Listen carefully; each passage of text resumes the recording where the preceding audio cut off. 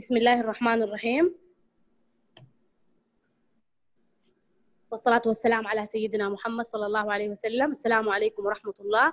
معكم المثقفة صفاء محمد أحمد من جمعية السكري السعودية الخيرية فرع المدينة المنورة بتوجيهات من أعضاء مجلس الإدارة ومواصلة لبرامج التوعية والتثقيف الصحي. يسرنا أن نقدم لكم محاضرة بعنوان نصائح عملية في التعامل مع سكري الأطفال.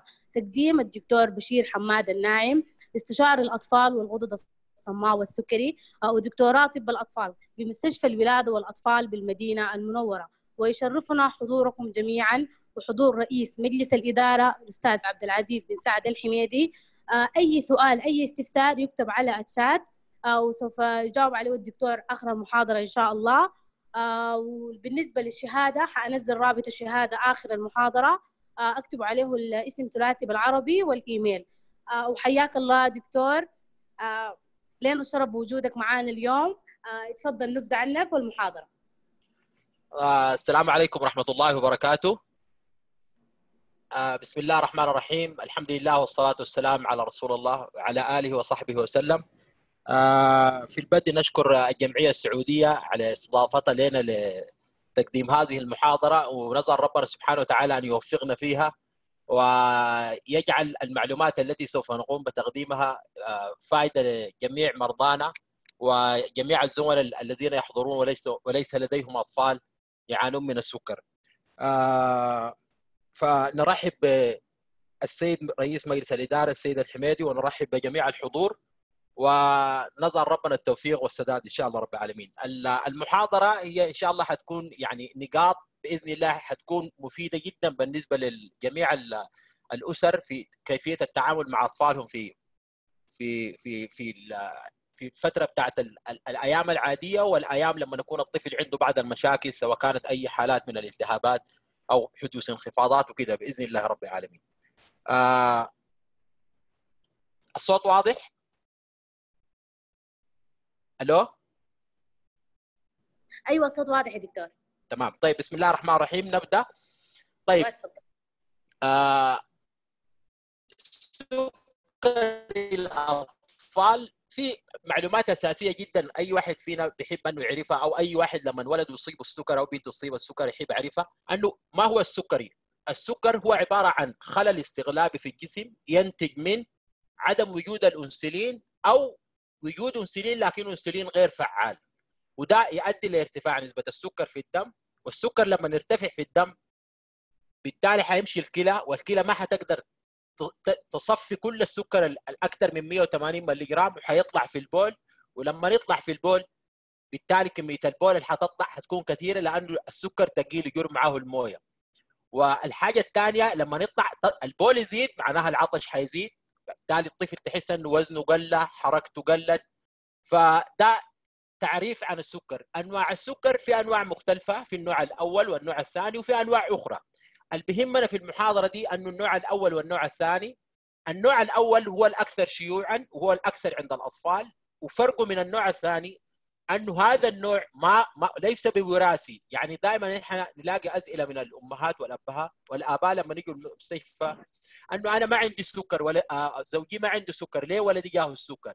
فهو لأنه الأسباب حقت السكر النوع الأول هي غير معروفة لحد الآن يعني ما ما في سبب محدد لكن الأطفال اللي يصابوا المصابين بالسكر هم عندهم تأهب خلقي يعني ممن ربنا يخلقهم في الخليقة بيكون هم معرضين يصيبوا السكر. في فترات متفاوتة بعضهم يجونا في سنة في سنتين في ثلاثة في أربعة. آه في أشياء أخرى قد تزيد من نسبة الإصابة بالسكر لكن ليس هي من المسببات. يعني كمثال آه بعض الدراسات بينت أنه والله الأطفال اللي بيرضعوا رضاعة طبيعية من أمهاتهم مقارنة بالأطفال اللي بياخذوا حليب صناعي الأطفال اللي بياخذوا حليب صناعي أكثر عرضة للإصابة بالسكر من الإصابة من الأطفال اللي بيرضعوا آه من من من من أمهاتهم. آه في دراسات اتعملت على فيتامين د لأنه نقص فيتامين د برضه هو ما سبب لكن هو واحد من الأشياء المصاحبة. الالتهابات فلحد الآن العلم ما قدر يتوصل لسبب محدد أنه والله ده هو السبب في السكر. في ملاحظة برضو الناس ممكن يكون لاحظوها أنه بعض الأسر يكون فيها طفل أو طفلين أو ثلاثة أطفال عندهم سكر. ويجي يقول لك طيب يا دكتور ده ما وراثي الإجابة لا هو ما وراثي لكن يعني نسبة حدوث يعني نسبة حدوث السكر أو فرصة أنك أنت تصاب بالسكر كطفل عموما هي 0.5% لكن لو كان مثلا الوالد والدك عنده سكر النسبة دي بتزيد بتصل ل 9% وإذا أمك مثلا عندها سكر النسبة بتصل ل 3% إذا الوالدين عندهم الاثنين سكر النوع الأول النسبة بتبقى أكبر. إذا في طفل في البيت عنده سكر الأطفال الثانيين النسبة ب... نسبتهم نسبة إصابتهم بتزيد لكن ما بتصل الحد الوراثي. النوع الأول هو بيحتاج للإنسولين ودي حاجة مهمة جدا. عكس النوع الثاني الممكن يحتاج انسولين أو ممكن نديه حبوب لكن النوع الأول لا لازم انسولين. الاعراض الاعراض أول الأعراض ما تظهر الطفل المصاب بالسكر أول عرض أول الأعراض بتلاحظ أنه الام الطفل لو كان هو من اول يتحكم في البول ممكن يصير فيه عد يصير عنده عدم تحكم. أو الطفل الكبير يحس أمه تحس أو أبوه يحس أنه هو يصحى من النوم يدخل الحمام. المرحلة اللي بعدها حيحصل تبول زيادة بالليل والنهار. إضافة للشراب الفتور والإعياء آه، نقصان الوزن. والحاجة دي مهمة. يعني أي واحد لو شعر أنه طفله عنده واحد من الأعراض دي الأحرى أنه يقيس نسبة السكر في الدم. على أساس أنه الطفل لو في المرحلة دي ما تم تشخيصه وانتقلت المرحله الثانية اللي هي مرحلة الحموضة الطفل بعد ذاك حيصير عنده غثيان وألم في البطن والتنفس حقه يتغير لا سمح الله. تمام وقد يصير معه غيبوبة. فقبل ما الطفل يصل لمرحله الحموضة إذا أي شخص لاحظ أنه طفله بيصحى بالليل يدخل الحمام أو خلال اليوم بيشرب كثير أو يتبول كثير أول خطوة يعملها يقيس السكر. نجي للتشخيص كيف نشخص السكر؟ في معايير متفق عليها عالميا في كيفية تشخيص سكر الأطفال.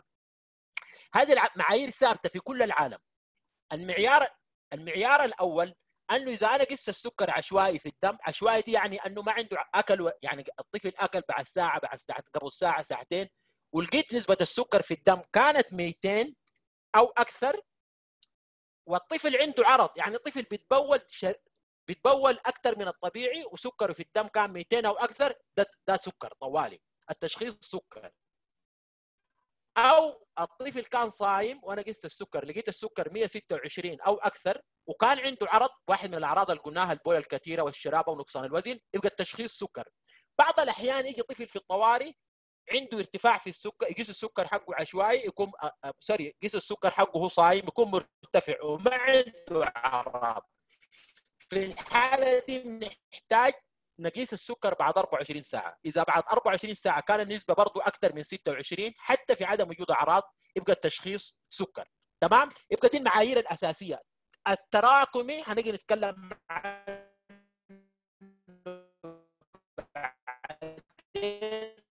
انه تراكمي بعض الأسر يجي المستشفى ويكون طفل عنده أعراض له ويقوم يقول له خلاص الطفل ده عنده سكر المفروض نبدا الامي يا ناس الخير التراكمي هو ليس للتشخيص. يعني ما بنأكد التشخيص في الأطفال بالتراكمي. لا التراكمي هو حاجة مساعدة للتشخيص مساعد وليس أساس في التشخيص لأنه بعض الأطفال ممكن يصير عندهم السكر الأعراض وكل شيء في ف... ويدخلوا في حموضة ويكون التراكمي حقهم أقل من 6 فاصل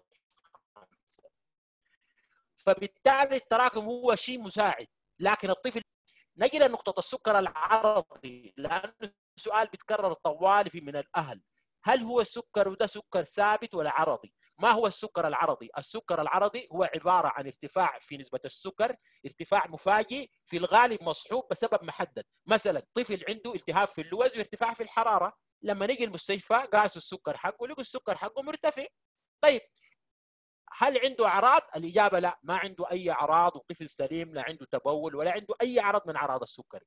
وعنده ارتفاع في السكر مصحوب بسبب محدد اللي هو زي ارتفاع الحرارة أو لا سمح الله التشنجات. ففي هذه الحالة ما بنسمي هذا سكر هذا سكر. هذا سكر عارض أو ارتفاع مفاجئ في السكر.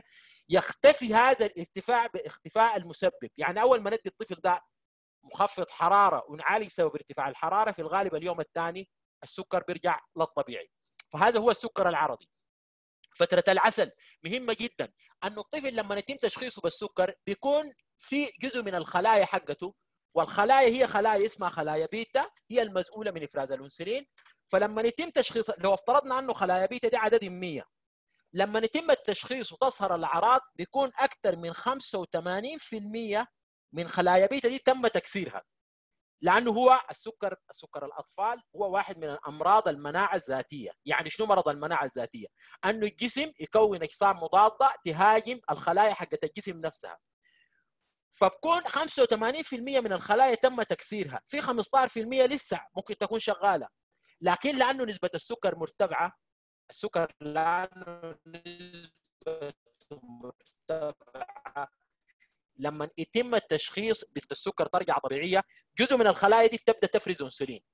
فالفترة دي بتحصل قد تحصل بعد أسابيع أو تحصل بعد شهور من التشخيص ودائما بتكون في الست شهور الأولى ونادر جدا ما بتحصل بعد عمر سنة من التشخيص. طيب فترة العسل دي ضروري الأسر يعرفوها لأنه مرات السكر يبدأ ينخفض ينخفض ونقلل الجرعة بتاعت الأنسولين قد الطفل ياخذ واحد وحدة فقط.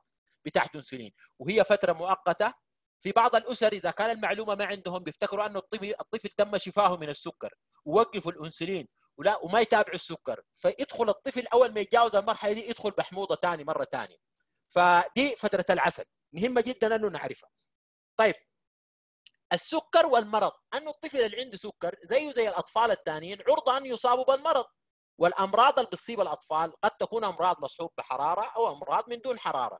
والأهمية حقت المعلومتين دي أنه الأمراض المصحوبة بالحرارة في.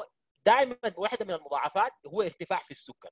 والأمراض الما مصحوبة بحراره زي الإسهال والاستفراغ وكده دي بتكون معاها انخفاض في السكر. فضروري جدا انه الأم أو الأبو كيف يعرف كيف يتعامل مع الطفل أثناء هذه الحالات المرضية.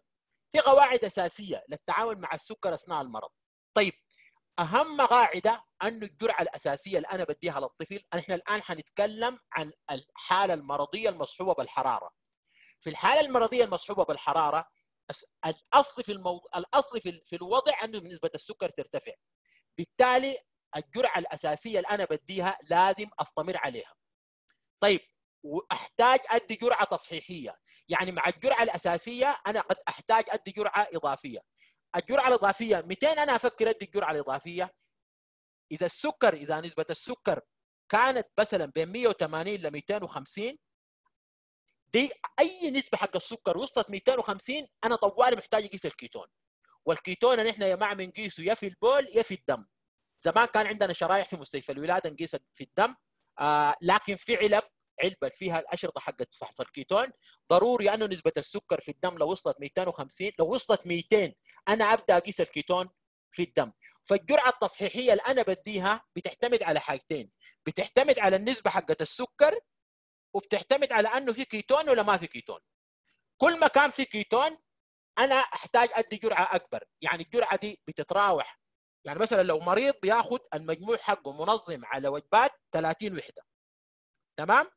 فال 30 وحدة دي بنقول والله إن إحنا إذا الطفل سكره بين 180 ل 250 طبعا دي صعبة إنك تتحفظ يعني ما بتتحفظ يعني الأفضل يعني المريض لما يجي العياده التثقيفية أو يجي العيادة للاستشاري يقول لها دكتور أكتب لي التعليمات كيف أنا أدي الجرعة التصحيحية في حالة المرض يكتبها له في ورقة ويشيل الورقة معاه لأنه هي فيها تفصيل أنه هل في السكر مرتفع معه كيتون أو من غير كيتون. بس النقطة المهمة اللي لازم نعرفها الآن أنه أي ارتفاع في السكر أثناء فترة الحمى لازم ندي جرعة تصحيحية. كم مقدار الجرعة التصحيحية دي أي شخص منكم لما يرجع للاستشاري أو عيادة التثقيف يكتبوها له في ورقة وتكون موجودة عنده حافظها في تلفونه ويطلعها أثناء الفترة بتاعت المرض ويتبع التعليمات حقتها. نحتاج نقيس السكر في الدم كل ساعتين لثلاث ساعات لأنه قد نحتاج ندي جرعة تصحيحية كل ثلاث ساعات، كل ثلاث ساعات نحتاج ندي جرعة تصحيحية. الكيتون نقيس الكيتون في البول أو في الدم كل ساعتين نقيس الكيتون. كل ما الطفل لو في الدم لو في البول كل ما الطفل دخل الحمام نقيس الكيتون. الإكثار من السوائل. السوائل أنه الطفل يشرب أكبر كمية من السوائل. السوائل قد تكون سوائل. يعني في في نقطة أخيرة متى نعطي سوائل تحتوي على سكر؟ ممكن نقول طوالي مع السوائل. أنه لو كانت نسبة السكر في الدم 180 أو أقل السوائل تكون محتوية على سكر. تمام؟ دي النقطة الأولى. 180 أو أقل السوائل تكون محتوية على سكر. أو لو كان الطفل يعني لما نجي للأكل الأكل أنه الطفل يأكل الأكل المعتاد إذا رفض الطفل يأكل الأكل المعتاد نديه نوع من الأكل يس يعني سهل سهل على الطفل. مثلا عنده التهاب في اللوز الأكل العادي مثلا الخبز وكده ممكن ما يقدر يأكله نديه أكل أسهل. شوربة هلبية أشياء أخرى زي دي. ونديه سوائل فيها سكر إذا كان الشهية قليلة أو كمية الأكل اللي بيأكلها الطفل قليلة. الح... إذا النقطة الأولى نثبتها إنه الجرعة الأساسية لازم ناخذها ممكن نحتاج لجرعه تصحيحية كل ثلاث ساعات. نحتاج نقيس الكيتون كل ما الطفل تبول أو في الدم كل ساعتين. نكثر من السوائل ندي أكبر كمية من السوائل. السوائل قد تحتاج يكون فيها سكر. لو كان شهيه الطفل قليلة أو نسبة السكر أقل من 80 الحالة المرضية نفسها نعالجها التهاب اللوز نعالج التهاب اللوز التهاب صدر التهاب بول. أي أيا كان سبب الالتهاب نعالجه. ندي مخفض حرارة. معرفة علامات الخطورة التي تستدعي حضور المستشفى. ودي نقطة مهمة. 200 الأم ولا الأب ويشيل طفله يمشي بالمستشفى. لأنه بعض الأسر قد يكونوا موجودين خارج المدينة أو موجودين في المدينة. ما في مرحلة محددة لو الطفل وصلها أنا أمشي المستشفى. ودي مهمة. 200 نمشي. أول حاجة لو ظهرت عليه أعراض الحماض الكيتوني. وما هي أعراض الحماض الكيتوني؟ زي ما قلنا قبل أي استفراغ أثناء حالة المرض نحن نفتكر أنه هو لو لقيناه مصحوب بكيتون دي أعراض واحد من أعراض الحماض الكيتوني. إذا الاستفراغ القسيان تغير النفس يعني التنفس حق الطفل يصير سريع مسارع أو نسبة الوعي تقل. دي علامات الحماض الكيتوني. في الحالة دي تبدأ العلاج لكن تمشي المستشفى طوالي. طيب ثاني 200 نمشي المستشفى. إذا الطفل معه استفراغ ما بيستوعب أي حاجة نديها له باستفراغها نمشي المستشفى.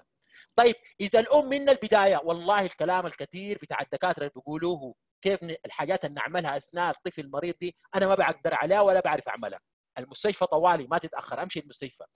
أو لو بدأت ال ال ال الأسرة الأم والأب بدوا يعالجوا الطفل وحسوا أنه والله مرت ساعتين ثلاثة أربع ساعات وحالة الطفل ماشية مدهورة. نجي المستشفى طوالي نتحرك على المستشفى. يبقى معناها إذا في استفراغ أو حالة الطفل ماشية مدهوره أو أو في انخفاض في السكر ما بدأ يتحسن. في الحالة دي نحن لازم نمشي المستشفى. أو ظهرت عليه علامات الحماض الكيتوني. فإذا ظهرت واحدة من ديل في الحالة دي نحن لازم نتوجه للمستشفى على أساس الطبيب هناك والغالبية العظمى من المرضى معاهم تلفونات المثقفات أو تلفون الاستشاريين يقدروا يتواصلوا معاهم لكن إذا أنا ما عندي أي تلفون أتواصل معاه وحسيت بأنه حاله طفلي ماشية ما متحسنة أنا أقدر أوديه المستشفى على طول. طيب قبل ما نمشي للانخفاض أنه الحالة حق الحالة المرضية اللي بتكون مصحوبة بانخفاض. يعني بعض الأطفال يكون نسبة عندهم استفراغ ونلقى السكر حقهم منخفض. منخفض ما قاصدين أقل من 70 لأنه دي حنجيها بعدين. لا الانخفاض يعني بين 70 ل 90 أو بين 90 ل 180 فإذا كانت النسبة حقت السكر منخفضة والطفل معه استفراغ الجرعة الأساسية لازم نديها. لازم ندي الجرعة الأساسية. لكن بننقص إذا في انخفاض نسبة السكر كانت أقل من 90 ننقص الجرعة الكلية. يعني المجموع الكلي حق الجرعات ننقصه بكم؟ من 10 ل 20% يعني ننقصه ب 20% ده 200 لقينا في انخفاض في السكر. نسبة السكر كانت 90 مثلا. وكان ما في كيتون. البول يعني حتى في حالة الاستفراغ والإسهال نفحص الكيتون لأنه ممكن يكون في كيتون وممكن تحصل حموضة والسكر يكون أقل من 200 فبالتالي نقيس الكيتون ما لقينا كيتون في الدم في البول أو في الدم والسكر كان بين أقل من 90 ندي الطفل سوائل فيها سكر زي ما قلنا قبل ونديه أكبر كمية من السوائل نديه يأكل الأكل اللي هو يحبه أكبر كمية من الأكل نديها له. ما نحتاج ندي جرعات تصحيحية. ننقص الجرعة الكلية، الجرعة الكلية مثلا كانت 30 ننقصها. بكم؟ ننقص ست وحدات من المجموع ده، المنظم والله حقه كان بياخذ 15 ممكن ننقصه ونخليه 12 الوجبات كان بياخذ مثلا 4 5 4 نقدر ننقصها نخليها 3 4 3 ننقص من كل من كل واحد واحد واحد. ننقص الجرعة. لكن إذا كان في كيتون إذا كان في كيتون والنسبة حقت السكر كانت أقل من 90 بننقص لكن ما ب 20% بننقص بمعدل أقل يبقى القانون العام اللي أنتم تعرفوه تعرفوه أنه في حالة الاستفراغ والإسهال المصحوب بسكر بين 90 ل 180 في الحالة دي قد نحتاج نقلل الجرعة إذا كان ما عندنا كيتون في البول أو في الدم. وإذا في كيتون نقلل الجرعة لكن بمستوى أقل. ودي برضو القاعدة حقتها واضحة ومحتاجة تكون مكتوبة.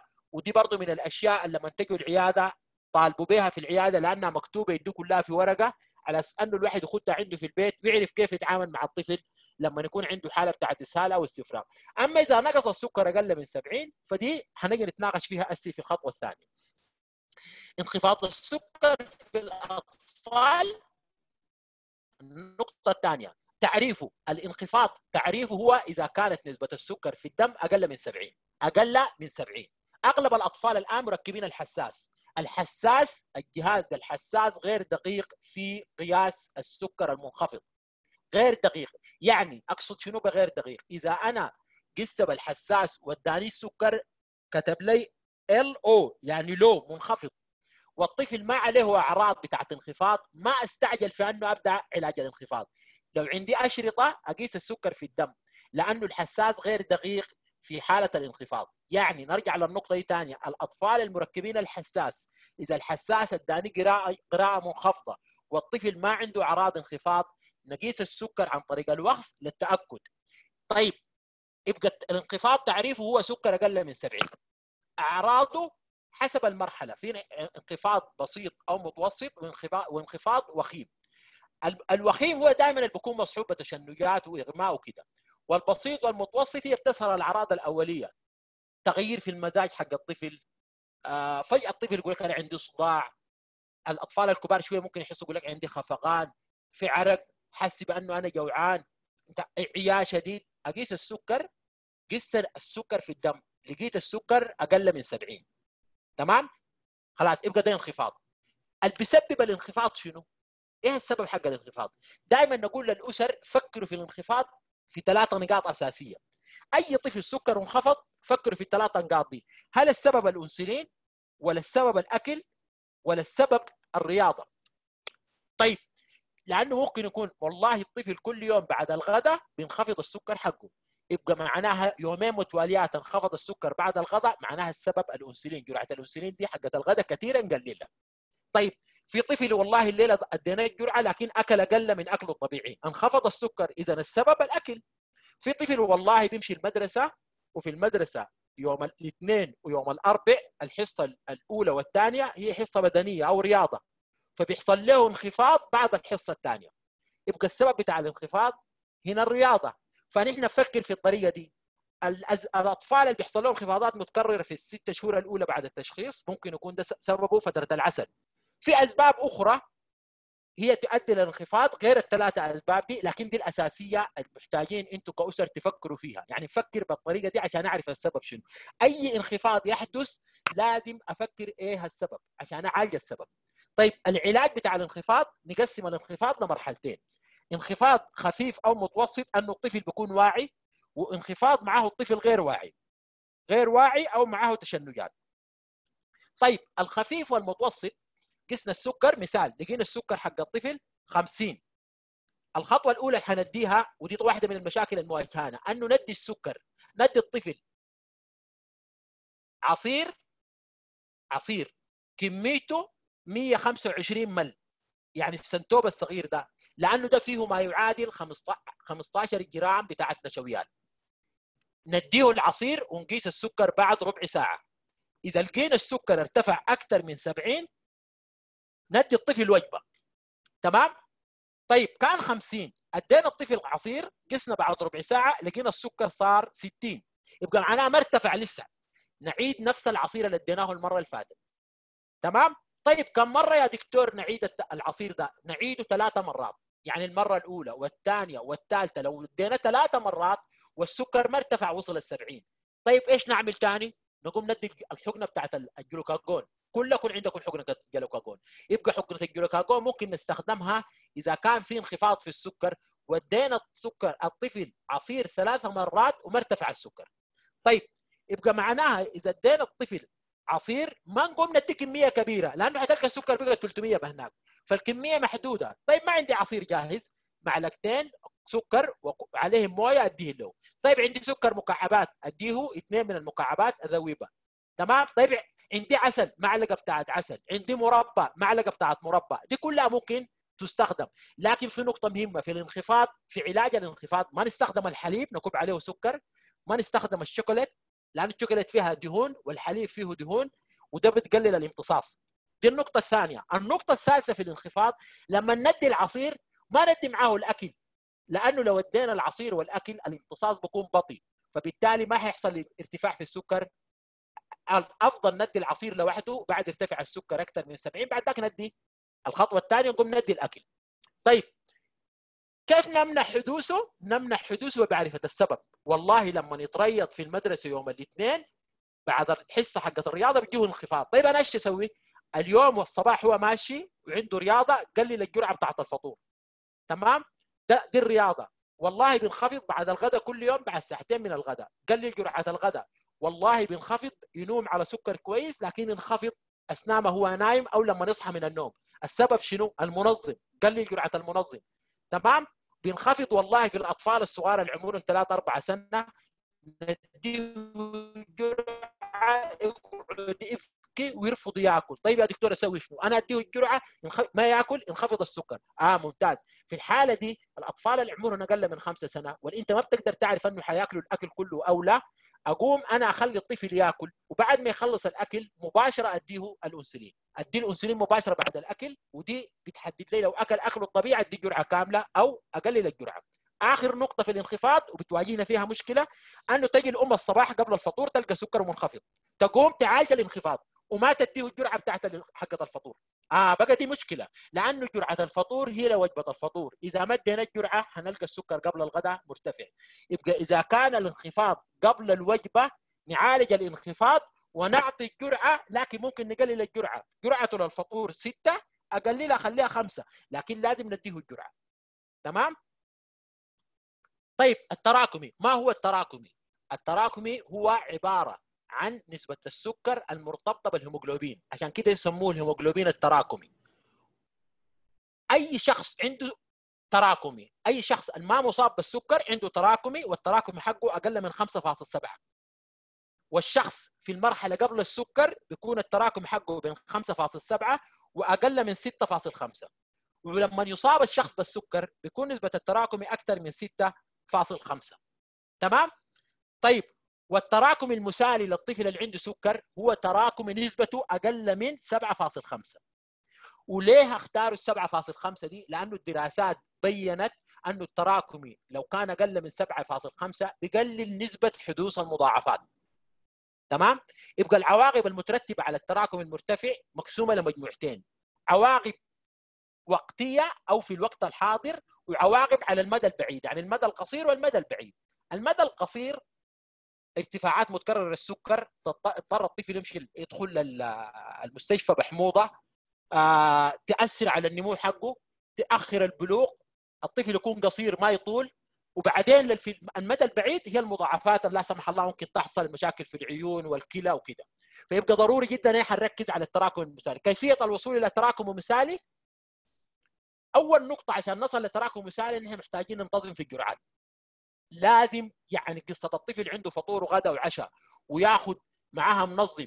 يوم ياخذ جرعتين ويوم ياخذ ثلاثة وما في انتظام في الجرعات دي حت ما حتخلينا نصل للتراكم المسالي تغيير أماكن الحقن ودي حاجة مهمة لأنه جزء كبير جدا من الأطفال اللي بينوموا عندنا بحموضة متكررة أو ارتفاعات متكررة في السكر دائما بيكون السبب فيها أنه الأطفال بيحقنوهم في نفس المكان. ما في تغيير الأماكن. دي أماكن الحقن يعني من الأمام دي الأماكن هنا الجزء الأعلى من اليدين حول السرة وفي الفخذ وفي الخلف هذه هي الأماكن. تمام؟ طيب إذا أنا كنت بحقن في نفس المكان ما بغيره ده حيحصل. تورمات هذه التورمات. يبقى أي أم أو أب أو طفل لازم يشوف الأماكن حقت الحقن بتاعته. إذا حصلت فيها التورمات دي ما ندي الجرعة بتاعت الأنسولين. ليه؟ لأنه في مشكلتين بتحصل. المشكلة الأولى الامتصاص بيكون بطيء. يقول لك والله دكتور بديك جرعة لكن السكر ما بينزل لأنه الحتة متورمة. والأطفال يحبوا أنه ينطعنوا في الأماكن المتورمة. ليه؟ لأنه ما في إحساس بالألم. ما بحس بالألم. عشان كده هو يفضل ينطعن في المكان المتورم. وبيحصل التورم هو عبارة عن تجمع بتاع دهون. فواحدة من مشاكله أنه الامتصاص بتاع الإنسولين بيكون بطيء وبالتالي بيرتفع السكر. والنقطة الثانية أنه بيحصل فيها التهابات. شايف ده طفل ده واحد هنا حاصل له التهاب في المكان بتاع الحقن المتكرر والتورم وبسبب التهابات وخراج ومشاكل زي دي. يبقى معناه لازم نغير أماكن الحقن. حساب النشويات ودي حاجة ضرورية جدا نتعلمها وحنشوف كيف نستفيد منها. إعطاء الجرعات التصحيحية وفي بعدين أمثلة لكيف نحن نحسب الجرعة التصحيحية.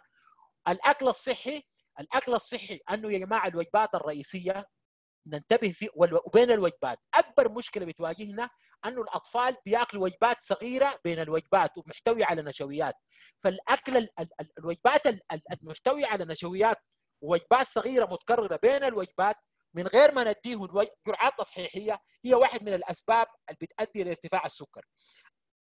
الرياضة مهم جدا أنه الأطفال لازم يكون يتريضوا والرياضة بتساعد أنه الطفل بيكون يعني الحساسية بتاعت الأنسولين يعني تلقى أنه الطفل اللي بيتريض حوجته للانسولين بتقل. فدي حاجة مهمة جدا لازم ننتبه عليها. والأكل الصحي كل الأكل يا جماعة اللي بيجي من خارج البيت هو أكل غير صحي مليء بالدهون والزهود والنشويات وكده. فنحن لازم ننتبه للموضوع ده. وأنه والله أثناء الأكل الصحي المقصود به انه في الوجبة الوجبة المحددة في الفطوره والغداء والعشاء الطفل لازم يأكل. يعني نحن ما عايزين نضبط السكر على حساب النمو بتاع الطفل لأنه أغلب أطفالنا في مرحلة نمو. ففي الوجبة الأساسية هو يأكل يأكل من النشويات يأكل من البروتينات يأكل لازم يعني الوجبة متكاملة فيها نشويات وفيها بروتين وفيها دهون. ضروري جدا تكون متكاملة وفيها سلط بين الوجبات إيش يأكل؟ يأخذ فواكه نوع واحد من الفاكهة. ممكن ياخذ حليب ممكن ياخذ لبن ممكن ياخذ سلطة. لكن ما ناكل كيبس وناكل آه بسكوت وناكل آه سندوتشات بين الوجبات. من غير ما ندي انسولين. صح بعض الأحيان يتغدى الساعة واحدة ويتعشى الساعة 10 المسافة كبيرة. فالاحرى أنه على الساعة 5 لو هو يبغى ياخذ وجبة ثانية ندي وجبة وندي عليها جرعة تصحيحية ويتعشى على الساعة 10 طيب واحدة من الأشياء المهمة عشان نصل لتراكم مثالي المحافظة على مستويات السكر في الحد الموصى به. طيب المحافظة على مستويات السكر في الحدود الموصى بها.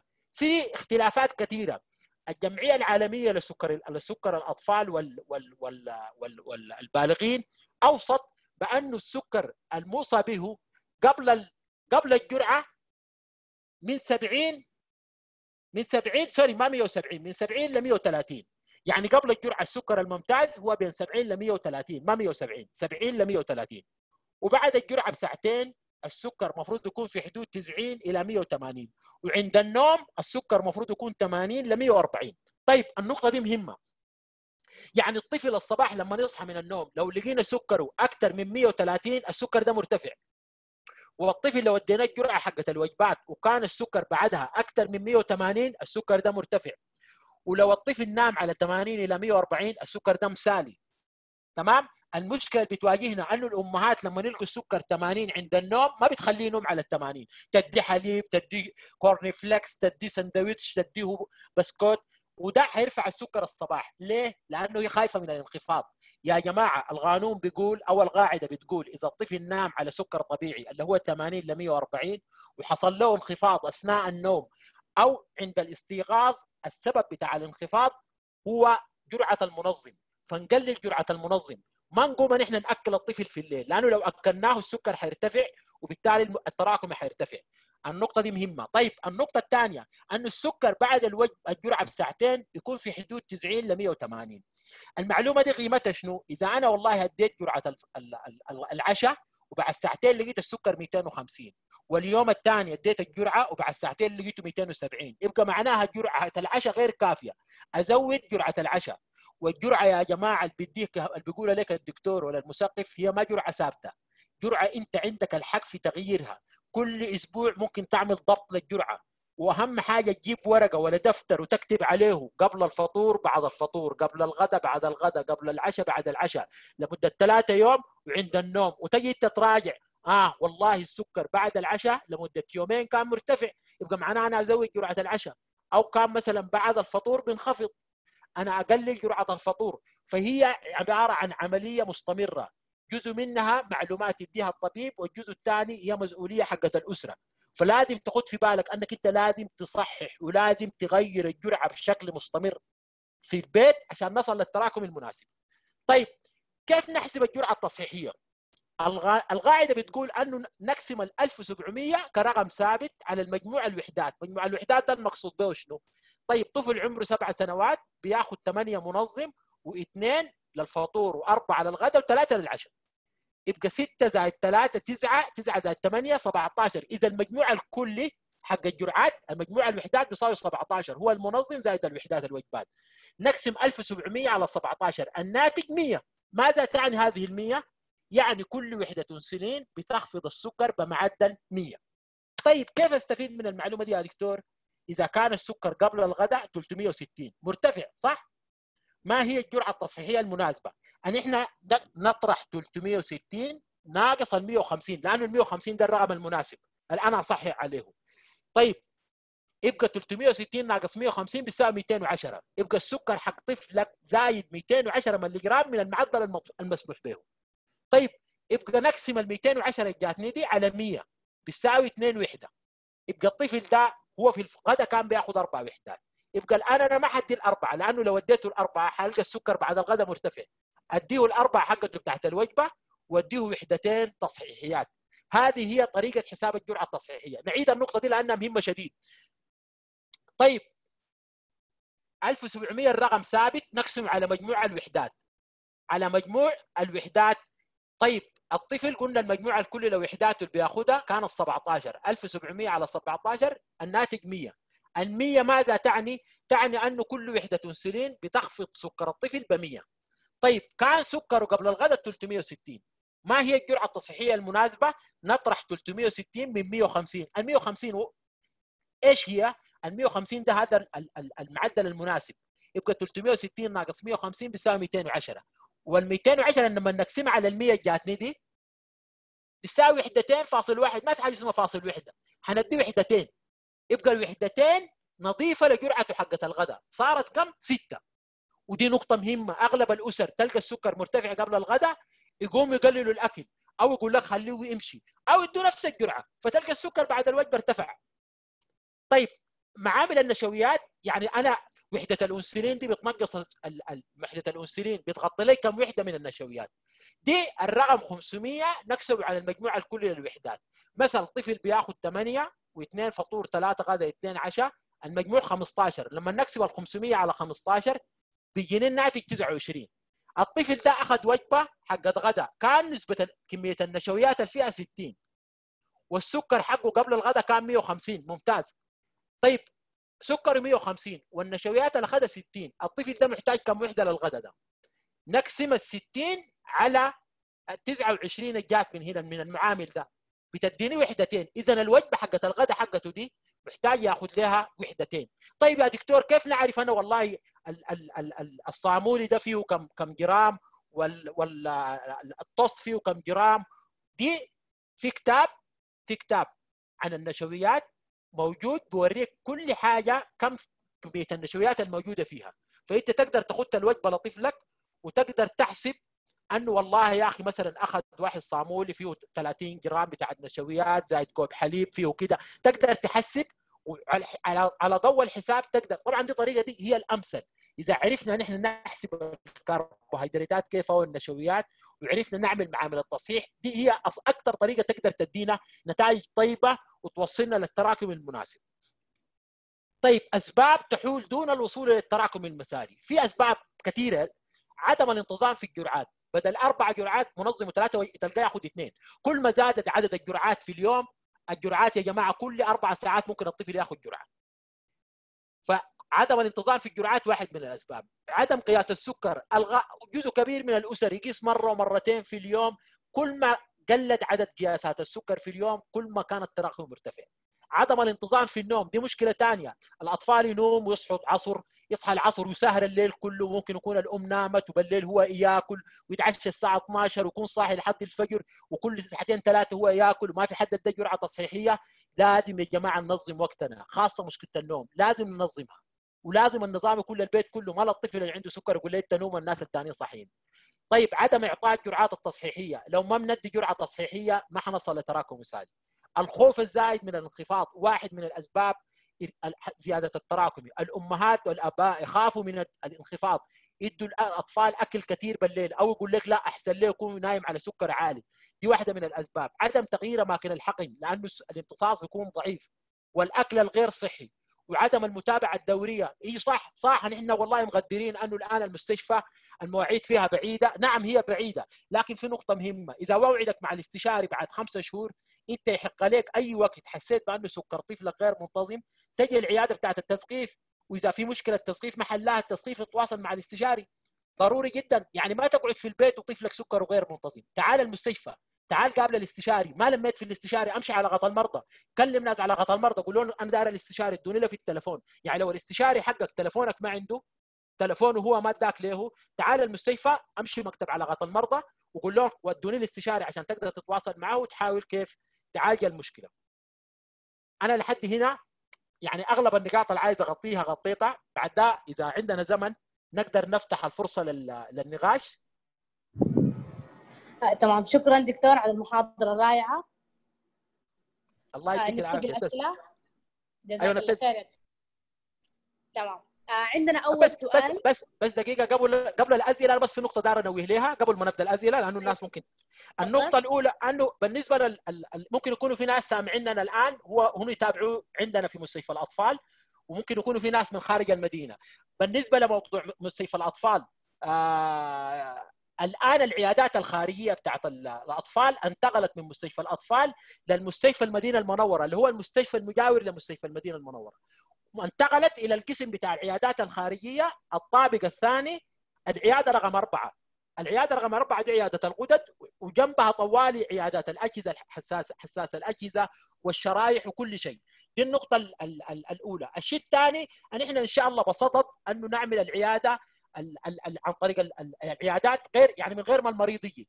اللي هي العيادات عن طريق التواصل بال بال وأنا يعني أحاول أكلم كل المرضى واقول للمرضى أنه العيادات دي مفيدة جدا. مرات يكون عندك ظروف أنت ما تقدر تجي للدكتور فنحن حنسجل المرضى وندي ونتواصل معهم فأحرصوا أنه لما يكون عندك موعد عن طريق التواصل من غير الحضور للمستشفى أحرص عليه لأنه فرصة جميلة.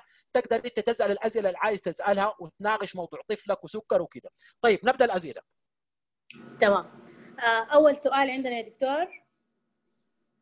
تحية طيبة دكتور بشير معك حازم الحازمي أبو عبد الرحمن.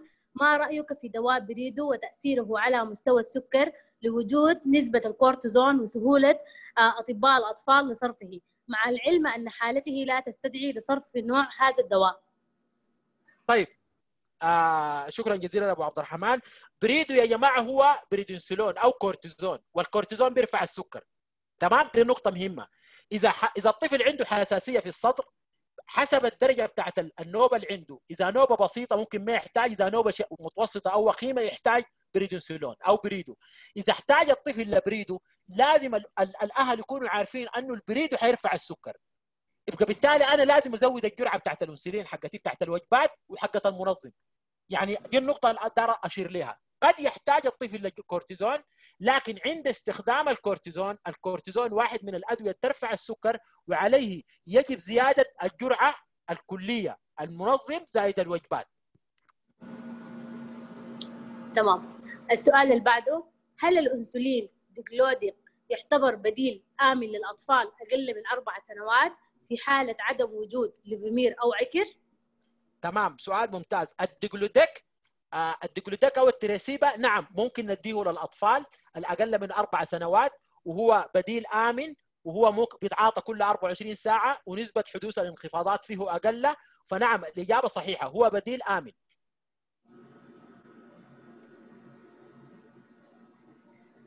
ما رأيك لو مصاب يستخدم جهاز ال FreeStyle Libre؟ ما الطريقة المتبعة لديكم في حالة تثبت تح... يعني تحسس المصاب من الحساس. تمام. ال الأوسط ال ال ال ال الجهات الرسمية آه أنه إذا حصل تحسس للطفل من ال من ال من جهاز ال FreeStyle في الحالة دي أنه ما يستخدم الجهاز. لكن أنا أوصي بحاجة ثانية في بعض اللصقات موجودة في بعض الصيدليات الخاصة تقدر تحط اللصقة وتركب من فوق لها ال FreeStyle Libre جربناها ببعض الأطفال اللي حصل لهم تحسس. ف التحسس اختفى أو مع لأنه ما بيكون في تلامس مباشر بين اللصقة بتاعت ال FreeStyle وبين الجسم. فهو التوصية الموجودة عندنا أنه ما نستخدم الجهاز. لكن أنا أنصح باستخدام هذه اللصقة ونعمل تجربة. أغلب الأطفال اللي جربنا عليهم ما حصل لهم تحسس بعد. تمام. هل جرعة الأنسولين تؤثر على النظر وتسبب ضعف النظر؟ طيب جرعة الأنسولين نفسه ما واحد من مضاعفاته تأثير على النظر. النظر بيتأثر بدرجتين. تأثر عرضي وتأثر ثابت. التأثر العرضي علاقته بالأنسولين إذا كان الطفل أخذ جرعة كبيرة وحصل له انخفاض الانخفاض بيعمل تأثر في النظر. اللي هو الطفل يحس يقول لك أنا ما شايف كويس. كده يقول لك لا ما أنا ما شايف كويس أو أنا ما شايف كويس. ده بسبب الانخفاض. وفي نفس الوقت الارتفاع في السكر برضه بيعمل تأثر وقتي في النظر وديل الاثنين. تأثر عرضي بيختفي باختفاء المسبب. لكن التأثر الثابت هو بيحصل لما يكون الطفل تراكمي حقه ما منتظم وسكره ما منتظم لا سمح الله على المدى البعيد ممكن يحصل له تأثر في الشبكية وتعمل تاثر في النظر. لكن الأنسولين كانسولين هل الأنسولين كالدواء واحد من مضاعفاته تأثر على النظر؟ الإجابة لا. تمام. على أي أساس نحدد الموعد الصحيح لطويل المفعول؟ هل حسب بداية عمل المنظم والذروة أم ماذا أيوه. طيب المنظم يا جماعة هو المنظم هو اللانتوس الاساسي نحن نستخدمه يعني الغالبية العظمى من المرضى يستخدموا اللانتوس. هو فعاليته 24 ساعة. لكن هذه الفعالية تقل يعني ممكن الأهل يلاحظوا أنه والله بعد 18 ساعة نسبة السكر بدأت ترتفع أو الفعالية قلت. فتحديد الفعالية بيبدأ من لحظة إعطاء الجرعة. يعني نحن نحسب نقول والله اديناه 7 مساء. الساعة 7 مساء. الساعة 7 مساء خلاص والله ده الوقت اللي إحنا بدينا عليهم. تمام؟ هو صح بيبدأ بيشتغل بيبدأ بيشتغل بعد ساعتين. لكن المستوى بتاع العمل حقه ما ما عنده قمة زي الانسولين الثاني. فبداية الفعالية تبدأ من بداية إعطاء الجرعة. آه السؤال اللي بعده. أنا أتابع مع الدكتور بشير لابني. أسأل ليش ما تصرف شرايح الكيتون من عيادات السكر للأطفال؟ ممتاز. سؤال جميل جدا جدا. كان والله للأسف أشرطة الكيتون موجودة عندنا وكنا نصرفها للأطفال ياخذوها معاهم في البيت ونعلمهم كيف يستخدموها وكيف يستفيدوا منها. الآن للأسف عندنا نقص يعني عندنا نقص في شرايح الكيتون. يعني الآن الكمية اللي عندنا قليلة خليناها بس في عناية المكثفة في الطوارئ وكده. لكن رافعين طلبية للوزارة على أساس يوفروا لنا شرايح الكيتون. ده بالنسبة للدم. بالنسبة للبول برضو إحنا رفعنا قلنا لا أي طفل لازم يكون عنده علبة بتاعت شرايح شرايح البول تكون موجودة عنده في البيت وإن شاء الله حتتوفر في الغريب العادي إن شاء الله. آه، ما رأيك دكتور بشير بأنه خصوصا في أثناء إعطاء جرعة التصحيح لا يعتمد بذلك على جهاز ال FreeStyle Libre؟ لا ما نقدر لأنه نحن دار نقاش طويل جدا بيننا وبين الشركة بتاعت ال FreeStyle Libre وعملنا كم محاضرة مع بعض. آه فجهاز ال FreeStyle Libre عنده عيبين زي ما ذكرت قبل عيبه في لما يحصل انخفاض اديني ال low أو اديني HI هاي يكتب لي اتش آي. الاثنين القراءتين الاثنين ديل غير دقيقات. لكن في القراءات اللي في النص كلها يعتمد عليها. صح الأهل ممكن يلاحظوا أنه في فرق بين القراءة حقت الجهاز والقراءة بتاعت الوخز. وده فرق متوقع. 10 15 لحد 20 ده فرق مقبول. لكن لو كان والله الفرق بين الوخز وبين جهاز ال FreeStyle Libre بيجيني 50 100 لا يبقى معناها في خلل في الجهاز أراجع الوحدة بتاعت الأجهزة في المستشفى.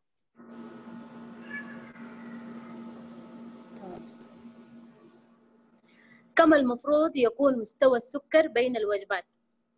تمام. السكر بين الوجبات زي ما ذكرنا. بعد ساعتين من الجرعة المفروض المعدل يكون بين 90 إلى 180 ده بعد ساعتين من الجرعة.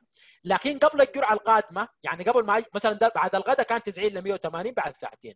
قبل العشاء المفروض النسبة تكون بين 70 إلى 130 بين 70 إلى 130 طيب في نقطة مهمة هنا.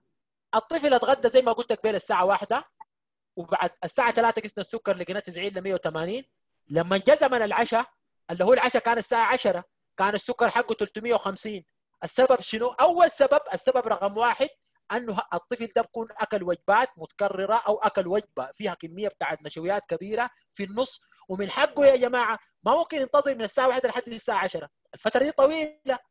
عشان كده نحن ننصح بأنه والله الطفل اللي بيتغدى الساعة 1 يتعشى الساعة 7 أو 8 عشان الفترة تكون قليلة. إذا لا ما في طريقة أنه أصلا حيتعشى الساعة 10 الحل أنه على الساعة 5 نديه وجبة والوجبة دي نديها عليه كمية بتاعت انسولين وإذا نحن نحسب النشويات نقدر نحدد الكمية كم.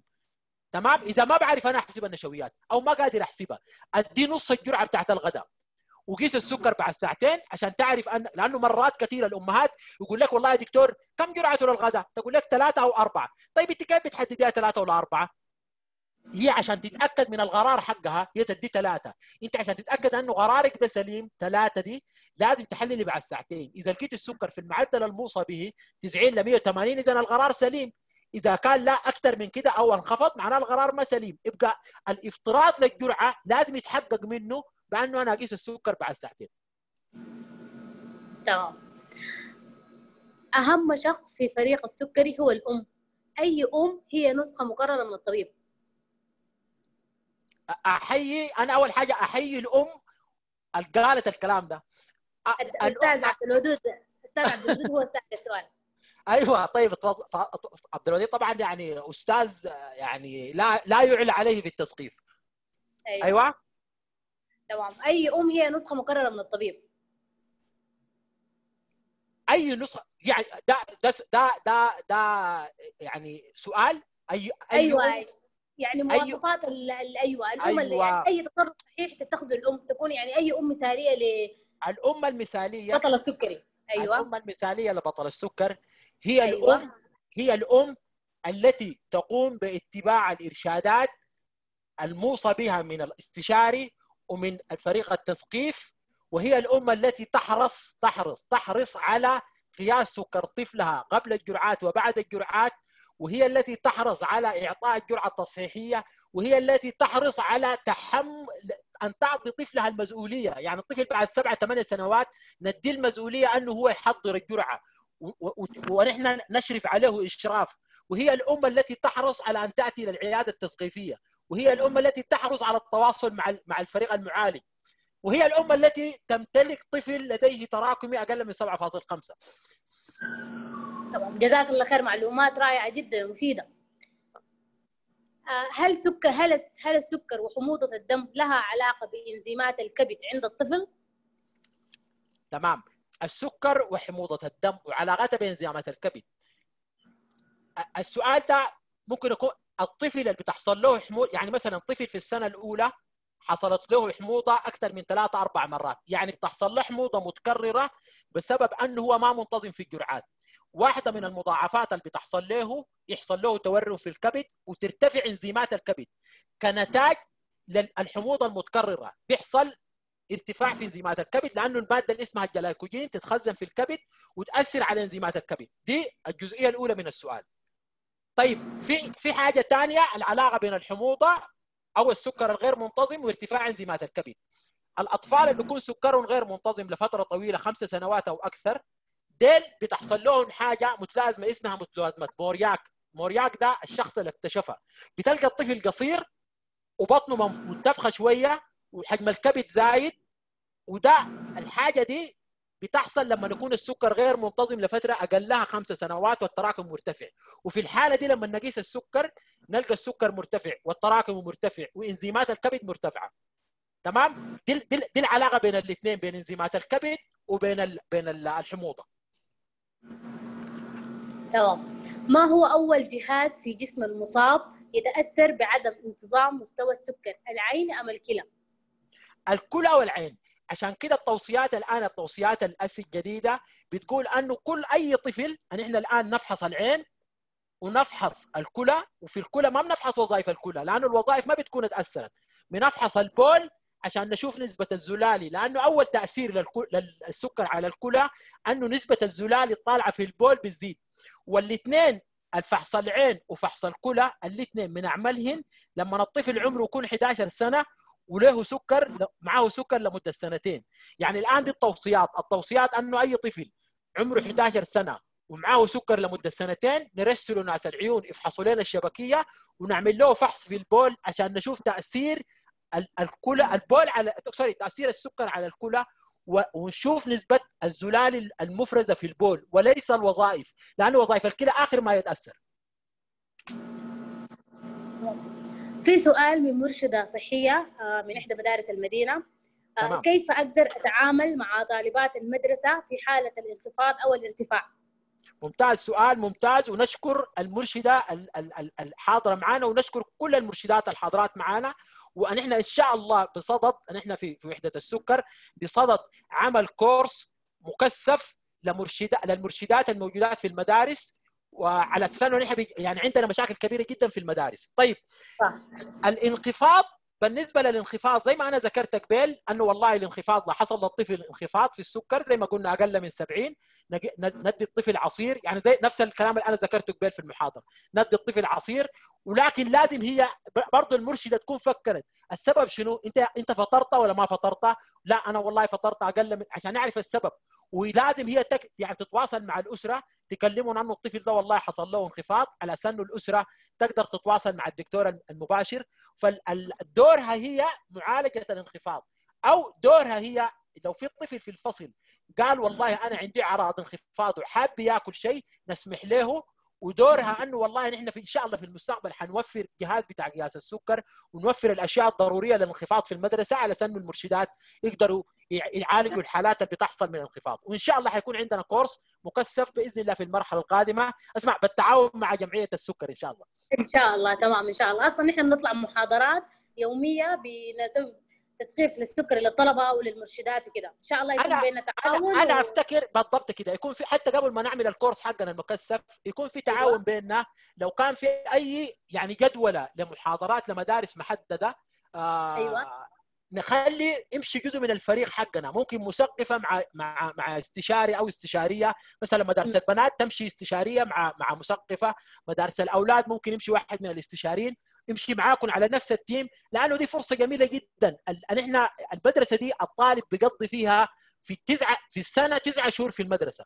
وفي اليوم أيام المدرسة يعني من الساعة سبعة ونص الطالب في المدرسة لحد الساعة 2 فنحن المدرسة عاملة لنا إشكال لأنه أثناء المدرسة الغالبية العظمى من الأطفال يجوا راجعين من المدرسة بسكر مرتفع.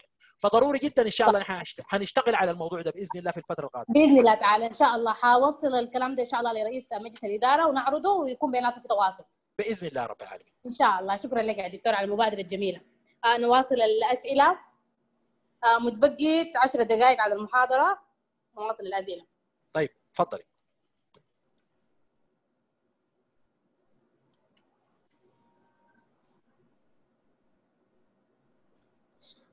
ما رأيك في مضخة الأنسولين؟ هل تنصح فيها؟ ولماذا مستشفى الأطفال في المدينة لا يوجد فيه فريق لتركيب المضخة؟ تمام سؤال ممتاز. أحيي صاحب السؤال. آه أنصح وبشدة في مضخة الأنسولين. لكن في نقطة مهمة جدا. الأسر لازم يعرفوها. هذه المضخة لا تعمل لوحدها. من الذين يستفيدون من المضخة؟ هم الأطفال اللي عندهم معدلات بتاع التراكم جيدة. هم لأنه المضخة محتاجة مجهود ضعف المجهود المنبذله في الطفل اللي بيأخذ الإبر العادية من غير مضخة. فالمضخة جميلة جدا بتسهل على الطفل. لكن أنا أديكم مثال أنا عندي أم عندها طفلين. طفل مركب مضخة وطفل غير مركب مضخة. يعني واحد عمره 13 سنة عنده مضخة وواحد عمره 8 ولا 9 سنة ما مركب مضخة. وأم مجتهدة جدا وأم ما شاء الله عليها أنا أحييها. ام عمار وعبد الله أحييها من هنا لو هي معانا أو ما معانا. آه طيب الطفل المركب المضخة التراكم حقه 12 والطفل الما مركب مضخة التراكم حقه 7.5 ماذا يعني هذا؟ أن المضخة غير جيدة؟ لا المضخة جيدة. لكن المضخة إذا كانت ما معاها مسؤولية متكاملة من الطفل والأسرة ومجهود إضافي ما حتديني النتائج المقصودة. وممكن أنا أحقق النتائج المرجوة اللي هي التراكم المثالي من غير ما يكون عندي مضخة. والمثال اللي هو الأسرة دي. طفلين عندهم واحد مضخة وواحد بدون مضخة. والما عنده مضخة التراكم حقه مضبوط ولا عنده مضخه لأنه في أسر بتفتكر إنه المضخة دي جهاز نركبه وبيشتغل لوحده. لا المضخة محتاجة تحسب النشويات. المضخة محتاج تحسب الجرعة التصحيحية. المضخة محتاج تقيس في اليوم أقل شيء لو أنا ما مركب الجهاز بتاع قياس السكر محتاج أقيس أقل شيء ست مرات في اليوم. فهي حاجة ممتازة ونوصي بها لكن لازم نخد في بالنا أنه محتاجة مجهود إضافي عشان نحقق النتائج المرجوة منها. لماذا مستشفى الأطفال والولادة لم لم لم توفر؟ والله دي مشكلة كبيرة بالنسبة لنا ساعيين فيها سعي حسيس، كان عندنا خلل في التيم غير مكتمل، ما في مسق... ما في مرشدة تغذية متخصصة في سكر الأطفال، لحد الآن ما موجودة عندنا. ونحن رفعنا للإدارة لأكثر من مرة وعبد الودود يمكن يسمع فيني. فنحن رفعنا لأكثر من مرة وشجعنا زميلاتنا يعني أخصائيات التغذية لأنه نحن عايزين أي حد يكون عنده الرغبة في أنه نمشي يعمل كورسات عشان يكون هو لأنه زي ما عبد الودود يعلم والناس كلها تعلم أنه سكري الاطفال محتاج أخصائي تغذية متخصص في هذا الجزء. ما بيقدر الشخص المعلومات حقت الناس الكبار يقدر ينزلها على الأطفال. فبإذن الله في الفترة الجاية بإذن الله نحن ساعيين جادين انه نوفر المضخة في مستشفانا. إن شاء الله. آه، دكتور في سؤال آه، من أم تقول ولدي يتابع عندك وموعده برمضان وما تواصلوا معه. كيف آه، تتم المتابعة؟ طيب كل الأطفال اللي كان عندهم مواعيد في فترة الجائحه وما وما قدروا يجوا المستشفى ونحن تواصلنا معهم بالتلفون أي حد كان عنده موعد أنا تواصلت معه بالتلفون إلا في حالة واحدة ممكن يكون ما ردوا أو تلفونهم ما ما كان يعني قدرنا نتواصل عليه. طيب حسب الاتفاق مع إدارة المستشفى أنه المرضى اللي ما حضروا العيادات بسبب الجائحة يتم جدولة مواعيدهم واختارهم الآن حتتفتح عيادة إضافية إن شاء الله بعد العيد. والعيادة الإضافية في الغالب حتكون للمرضى اللي ما تمكنوا من الحضور في فترة الجائحه باذن الله رب العالمين. لكن أنا أقول للأم إذا ولدك عنده إشكال في السكر حقه ولدك عنده مشكلة في السكر حقه عندك طريقتين. ممكن تجيني في العيادة يوم الأحد الأحد من الساعة 7 وربع العيادة بتبدأ 8 أنا بشوف المرضى اللي ما عندهم مواعيد من 7 وربع للساعة 8 فتقدري تسجلي إغراءاتك وتجيني في العيادة من الساعة 7 وربع للساعة 8 في العيادة رقم 4 في العيادات الخارجية في مستشفى المدينة المنورة. و... وإن شاء الله نحن نحل لك مشكلتك قبل ما يجي الموعد حقك. إن شاء الله. جزاك الله خير يا دكتور. آه. السلام عليكم. أنا أم لين المحمادي دكتور أوقات تنام ويكون سكرها طيب لكن لما تصحى يرتفع. ممتاز. دي نفس النقطة اللي قلناها قبل أنه يا جماعة لما ينام على سكر الطبيعي لما ننام على الطبيعي 80 إلى 140 وكده ويرتفع السكر الصباح في سببين. السبب الأول لازم نتأكد أنه الطفل ما حصل له انخفاض أثناء النوم لأنه في ظاهرة اسمها ظاهرة السموكي. ظاهرة السموكي دي أنه يحصل انخفاض أثناء الطفل نايم وتقوم الهرمونات الأخرى تفرز وتوقف عمل الأنسولين وترفع السكر. لما نصحى الصباح نلقى السكر مرتفع. أو الاحتمال الثاني أنه لا والله يا دكتور مثلا والله بياخذ المنظم الساعة 7 مساء. اللي بياخذ المنظم الساعة 7 مساء نقول لهم والله يا أخي على الساعة 2 3 صباحا أعملوا شكل السكر شوف السكر فيه انخفاض ولا ما في انخفاض. إذا ما في انخفاض والصباح السكر مرتفع الحل نزود جرعة المنظم. إذا حصل بيحصل انخفاض لا والله بينخفض لقيت فعلا أنا قست السكر الساعة 2 3 صباحا لقيت السكر بينخفض والصباح بيرتفع. نعمل شنو؟ نقلل هنا في الحالة دي جرعة المنظم. نثبت القاعدة دي الثانية إذا إذا نام الطفل على سكر طبيعي وفي الصباح عند الاستيقاظ كان السكر كان السكر مرتفع. الخطوة الأولى التأكد من عدم وجود انخفاض أثناء النوم. فإذا كان في انخفاض أثناء النوم الحل نقلل جرعة المنظم. إذا ما في انخفاض أثناء النوم العكس السكر ماشي زايد زايد لحد ما يصحى الطفل في الحالة دي نزود الجرعة بتاعت المنظم.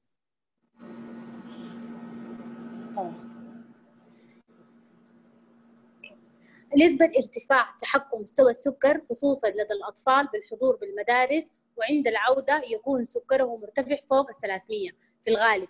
كم تعلم بأنه أنسولين سريع المفعول في أخذ تفاحة إلزامي تأخذ عليها جرعة في الغالب؟ فما رأيك في نتائج آه المريض في في نتائج في حالة المريض إلى أنسولين الأكثر خصوصا في تغطيته فطور الطفل في المنزل قبل الذهاب للمدرسة. وكذلك يغطي وجبة الفسحة آه وهنا نخفف من الارتفاع لدى أغلب الأطفال. ممتاز. فهمت السؤال يا دكتور؟ أيوه فهمته فهمته. طيب تمام, تمام. لأنه لأنه دي واحدة من المشاكل اللي بتواجهنا. طيب. أيوه. الأنسولين يا جماعة اللي بنديه للوجبات اللي هو الأنسولين سواء كان النوفورابيد ولا الأبيدرا هو أنسولين سريع المفعول. مفعوله بيخلص من الجسم بعد ثلاثة لاربع ساعات. أغلب الأطفال بيفطروا في البيت على الساعة 6 أو 6 ونص.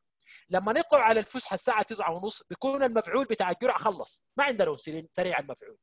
والأطفال كلهم في الفسحة بياخذوا وجبة وجبة كمان ما شاء الله عليها كمان معاها حاجات ثانية آه وعندنا شيخ اسمه ديو موجود في المدرسة ده طوالي ثابت كل الناس لازم ياخذوه فالساعة ال ال لما يطلع الطفل الساعة 9 ونص المفعول بتاع الجرعة ده بيكون خلص. الحل إذا الطفل عندنا حلين. الحل الأمثل والأفضل أنه الطفل يأخذ جرعة أخرى في المدرسة عشان تغطي الوجبة بتاعت الفسحة. ودي بطريقتين. إذا الطفل هو أصلا بيعرف يدي نفس الجرعة عادي يأخذ القلم حقه وخط القلم في في المكتب بتاع مشرف الفصل ولما نطلع الفسحة يأخذ الجرعة حقته. ودي أفضل طريقة. الطريقة الثانية الطفل لا والله هو صغير ما بيعرف يأخذ. لو المدرسة فيها واحد من المرشدين ال يقدر يدينا يديه الجرعة يمشي تمشي الأم تقابل إدارة المدرسة وتخلي الطفل يديه الجرعة في الفسحة. دي دي الطريقة الأمثل والأفضل. وبعدين لما نجي راجع من المدرسة نشوف نسبة السكر حقه. إذا لقينا والله السكر حقه مرتفع من المعدل الطبيعي نقدر نزود في الجرعة. يعني الفطور بياخذ ستة والجرعة التص... الجرعة الإضافية في المدرسة ثلاثة. لكن لما نجي راجع البيت بنلقى معدل السكر أعلى نقدر نزود الثلاثة دي لأربعة لحد ما نصل لسكر مناسب. هذه هي الطريقة الأفضل والأمثل في حالات أنه ما يتوفر أنه الطفل ما بيقدر يأخذ الجرعة. والمدرسة غير متعاونة معانا.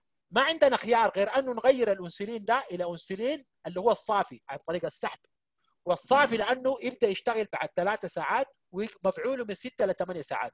فهو بديل ممتاز. ان إحنا نستخدمه لاغلب الأطفال في فترة المدرسة ونقدر نديه الصباح لكن ضروري الطفل في الفسحة ياخذ وجبة لأنه لو ما أخذ وجبة قد يصير عنده انخفاض. تمام؟ يبقى دي دي دي الإجابة على السؤال ده. تمام. السؤال آخر سؤال عندنا يا دكتور.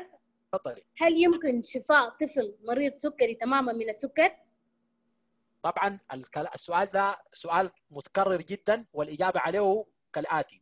اولا إحنا كمسلمين إيماننا القاطع بأنه ربنا سبحانه وتعالى قدير على أنه يشفيك من أي مرض ده أمل مستمر وما بينقطع. وده اللي بخلينا نحن كاطباء ندعو وكأسر تدعو لأطفالكم انه ربنا يشفيهم دي النقطة الأولى اللي نثبتها. لكن هل ثبت لحد الآن حالة شفاء من طفل تم تشخيصه بالسكر النوع الأول تشخيص تشخيص صحيح؟ الإجابة لا. لحد اللحظة اللي أنا بتكلم فيها دي في حدود معلومات اللي عندي لا توجد حالة واحدة.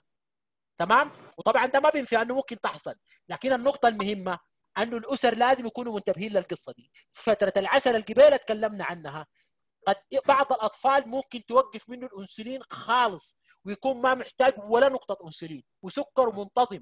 ده ما شفاء ده ما شفاء من السكر. دي فترة مؤقتة وبعد السكر مرتفع.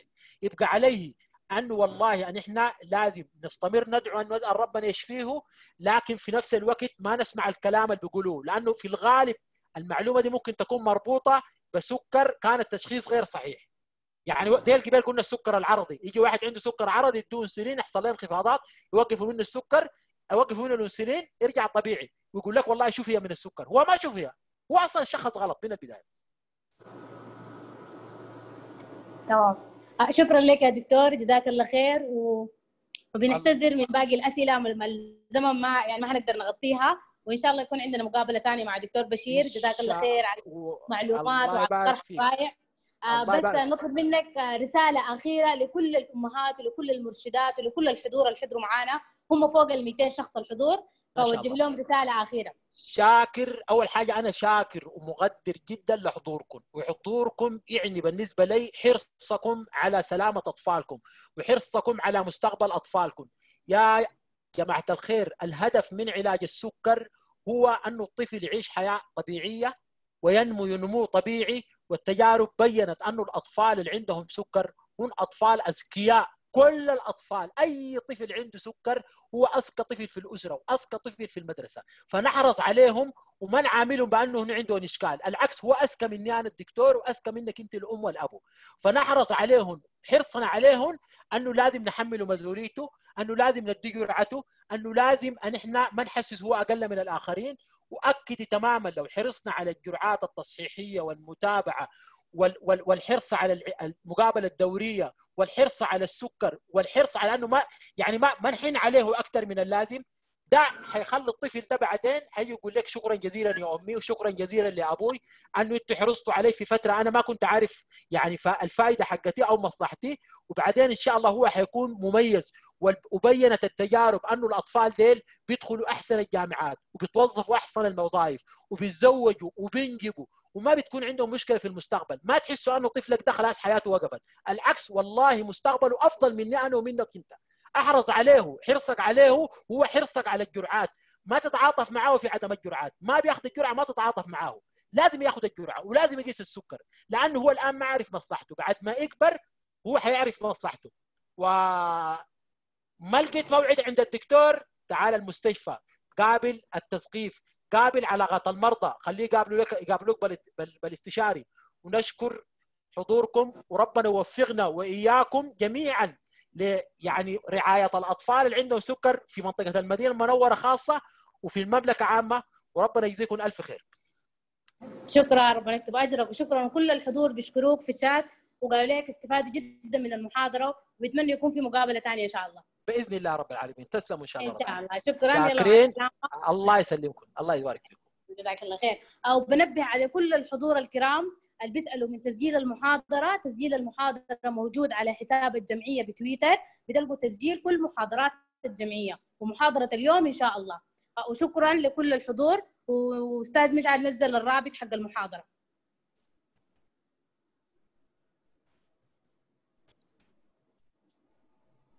مع السلامة. الف سلامه الله يسلمك تسلم. الله يسلمك.